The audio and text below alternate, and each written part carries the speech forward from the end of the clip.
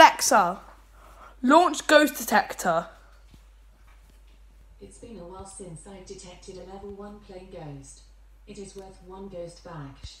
You have detected 10 plane ghosts.